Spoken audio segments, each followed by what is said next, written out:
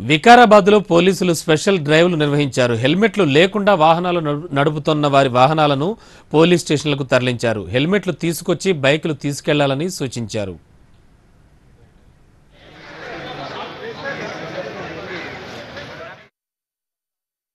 ఈరోజు ఒక డ్రైవ్ పెట్టినాం. వికారాబాద్ టౌన్లో మొత్తం ఐదు పాయింట్లలో పెట్టినాం. ఒక్కొక్క దగ్గర ఒక ఇరవై ఇరవై మంది స్టాఫ్ ఒక ఎస్ఐని ఇచ్చి ఏర్పాటు చేసినాం. దాంట్లో భాగంగానే ఒక రెండు వందల యాభై మూడు వందల వెహికల్స్ వరకు వితౌట్ హెల్మెట్ పెట్టుకొని వచ్చారు. వాళ్ళకు